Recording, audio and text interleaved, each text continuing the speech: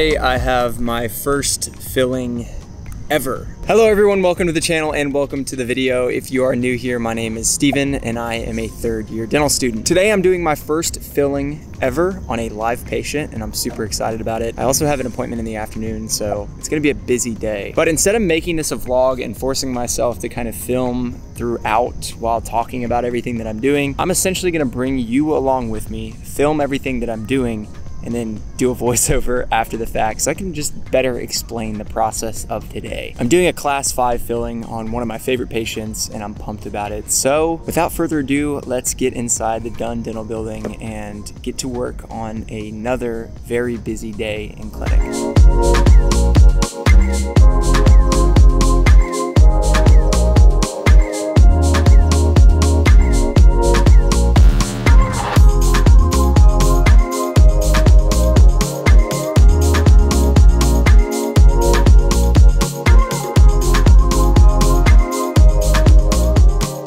Welcome to the editing studio and let's get into the details of this filling. The beginning of the process of any appointment is the setup of the cubicle. Now in dental school, we do all of our own setup and breakdown. That's one of the differences between dental school and being out in private practice. For an operative appointment, it is standard protocol in terms of infection control. We basically cover everything that we're gonna touch or that we might touch with a barrier. So we're basically covering everything with plastic. After getting my infection control of the cubicle figured out, I will head up to the fifth floor where I'm gonna get all of my sterilized instruments. For this appointment, there are going to be three cassettes that I grab. The first is a handpiece cassette. I'm gonna be using a high-speed handpiece in this procedure. The second is my operative cassette, which has all of the various instruments, uh, hand instruments that I would use in an operative procedure to do a variety of different fillings. And the third cassette is my dental dam cassette, and that's going to have the elements for putting on a rubber dam or a dental dam, which we use at UTHSC in all of our operative appointments unless it's something that's really uh, strange or unique. I'm also gonna grab my start check box, which has everything from my blood pressure cuff to payment forms and patient eyeglasses for protection. I'm also grabbing my Ergo Prism loupes from Lumadent. These are loupes I've talked about multiple times in the past. I really enjoy using these loupes for procedures like operative or fixed, where I'm focused in on one area of the mouth. Daisy's upset. And then the last box that I'm grabbing is sort of a fixed slash operative kit, which has my composite instruments and some other things that I might use in an operative procedure. All of that is from my fourth floor locker, which is the non-sterile locker. The armamentarium here is relatively simple. We have the classic elements that we always have in every appointment, which is the patient uh, bib. We have some gauze. I always grab a little bit extra just in case. Uh, we have some cotton rolls, some cotton pellets, and then we have occlusal registration strips. We have extra feather lights, which are little composite finishing discs that we use in these procedures. And then also we importantly have our anesthesia. So we start with We start with 20% benzocaine, which is a topical uh, local anesthetic. We put that on the area of the injection, and then we inject our actual local anesthetic, which is given to us by our professor that we're working with. Additionally, I have some specific components here for the composite process. So etch, bond, the composite itself, and then a couple extra things like dental dam lube, the dental dam itself, alcohol prep pads, all of these things. Let's get into the specifics of the appointment itself. The first aspect of the process is getting the patient seated in the chair and discussing what we're gonna be doing today. As I mentioned in the beginning of the video, today we were doing a class five composite filling on tooth number 20. This tooth had a little bit of a lesion at the gum line. It was likely the result of toothbrush abrasion. So I think the patient was brushing too hard and over time that cervical portion of the enamel broke down. A little bit of the root dentin was even exposed.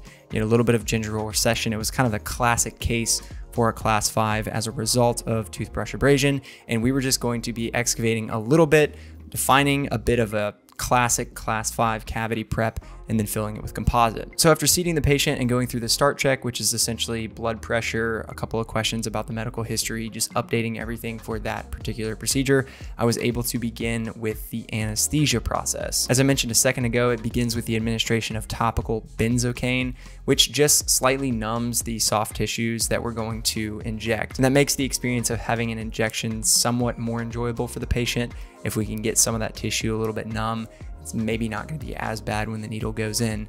So we do that first. And then in this case, I was working on a lower tooth, specifically lower second premolar. And so the injection that is indicated here is an inferior alveolar nerve block. And this is a really common one that we give all the time. In my opinion, it is the most technique sensitive. It's the most difficult, but everybody says when you do it 50 times, or even maybe less than that, you just figure it out and it's you start hitting it. Full transparency here, I gave my patient one carpule of lidocaine in this case and she wasn't really feeling numb. She was telling me that, you know, maybe I'm starting to feel a little bit like a little bit of tingly, whatever. And I told her, when you feel numb, you're gonna know that you feel numb. Your entire face feels puffy, and I promise you'll know. So I gave her one injection, and then I told the professor that I was working with that she wasn't really getting numb after five to 10 minutes of waiting. So he came in and he gave her a second carpule.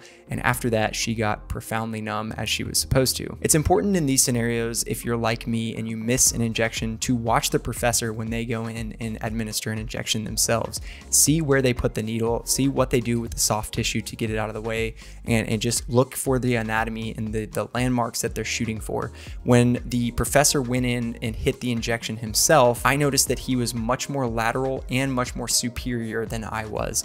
I had been a little bit more towards the midline, more medial, and I'd also been a little bit more inferior of the area that I needed to be. This is all the process of learning injections. I am by no means good at it yet, I would say. Specifically with the IA block, that one is, like I said, the toughest. With the other ones, it's a little bit simpler. You just shoot for the roots and you'll get it. But with this one, I'm still learning and I wanted to be fully transparent with you and describe the process of missing it and having to ask the teacher for help. They're trying to get the procedure done, so they will give the anesthesia if they have to. After that, the next step was prepping the actual restoration. So I went in and just excavated a little bit with a 330 burr and a high speed handpiece. Pretty simple there, just with a class five, we're creating a little bit of what looks like a smiley face in the cervical portion of the tooth. Mine was opened up a little bit more than your ideal preparation would be just because of the extent of the toothbrush abrasion.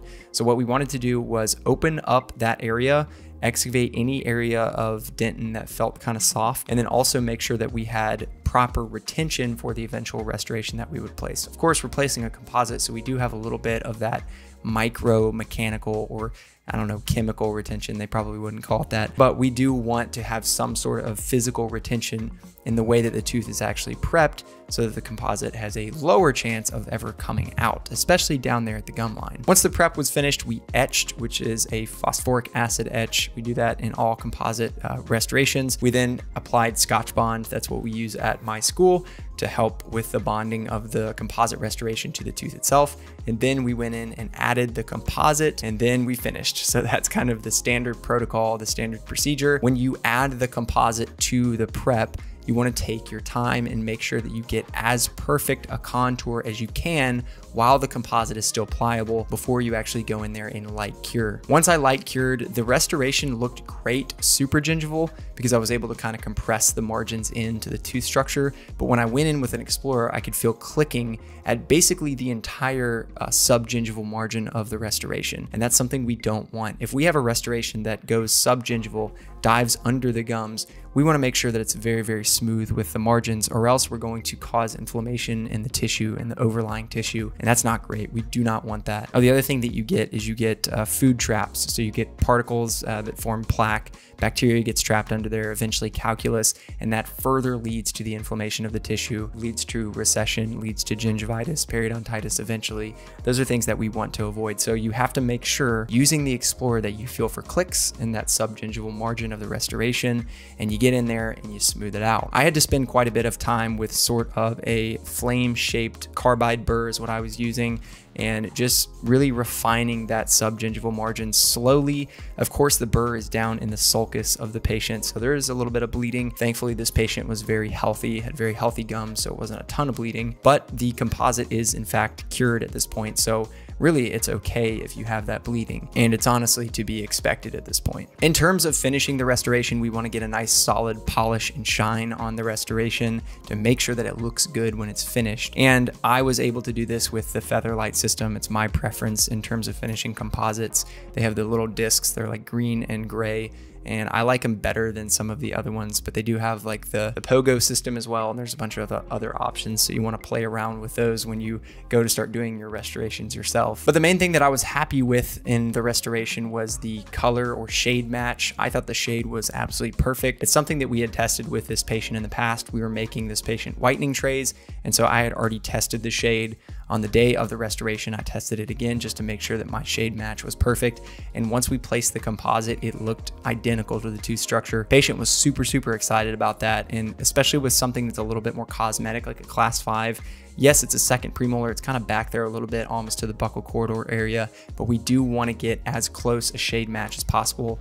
And that was something that we were able to get in this appointment, which I was super happy with. Also, the margins of the restoration were great. The professor that I worked with said that they were good. He liked them. So it was uh, a good positive. I see Daisy in the background. She's Margins look great. Shade match was great. The patient was really, really happy with the way that it looked, which once again is very, very important. We want our patients to appreciate the finish and the way that something looks cosmetically. They're not necessarily going to be able to know the ins and outs of the function of the restoration, but if it looks good, generally speaking, they're going to be happy. After dismissing the patient who was super, super content, and that was great, it was just cleaning up the cubicle, making sure that everything is wiped down and disinfected for the next student doctor who would be coming to that cubicle to use it, throwing away everything that was trash that we used, and then taking all of the instruments that I used back to our sterilization folks for them to sterilize for my next time that I need to use those instruments. And that was really it for that appointment. As I said, things turned out great on this one. Yes, I missed the injection, but that's something to be expected with an IA block. That's a difficult one, and I wasn't surprised when I missed it. But everything else went really well. The patient loved the restoration. The teacher was happy with the way I finished the margins. Everything subgingival was nice and tight, and uh, there was no clicks or anything like that. So I think the long-term health of the patient's gums with this particular restoration is good. I think she has a good prognosis there. You know, it's composite. I'm not sure how long it'll last because all composites do fail eventually, but hopefully with the isolation process, something I didn't even talk about, the application of the dental dam, which we do, I, I had help from my assistant in doing that. The isolation process and then also the etching and bonding Hopefully all of that process and the care that I and my assistant put into that will allow for a lengthy, lengthy run for that restoration for my patient. That was my first ever filling. It was an awesome, awesome experience. I tell you what, it was the first thing I've done in dental school where I genuinely, genuinely felt like a dentist. I've done a lot of things leading up to this filling. I've done a lot of appointments. I've had plenty of different things that I've done for various patients, but actually cutting on a tooth with a handpiece on a real patient uh, you know, giving an injection, all of that stuff felt really, really real for me. And it was just another one of those pinch me moments where I realized that I'm actually doing what I want to do with my life. And I am, uh, it's such a dream for me to be in this position as a student in a dental school. It's absolutely awesome. And for all of you watching, I know all of you are going to succeed. I know all of you are eventually going to become dentists yourselves. You will have that same pinch me moment the first time you cut a cavity preparation on a real patient. Make sure the patient selection is good. Make sure you get a good patient to work with for this first filling, something that you think you can do reasonable restoration. Mine was pretty simple and pretty straightforward. And once again, a good patient that you think will take to the treatment well. Those are kind of surefire ways to have a good experience the first time you do one of these restorations. And friends, that's all I'm going to say in this video. Thank you for joining me in this journey of learning how to place my first restoration. It was fun and I hope to do more of these videos in the future. I can't really film a whole lot in the clinic, but I can sit here in my home and talk about it. If you enjoyed this format and you want to see more of this in the future, my first crown prep, my first denture, whatever it is you want to see, please let me know in the comments that you enjoyed this video and I promise you I will do more of these in the future. Have a blessed day. Good luck with the studying, whatever you're doing in this month of September, almost October. Go Vols, Tennessee football, killing it right now. 3 0. Got Florida next week. I'm really excited about that. And friends, as I always say at the end of my videos, I will see you in the next one.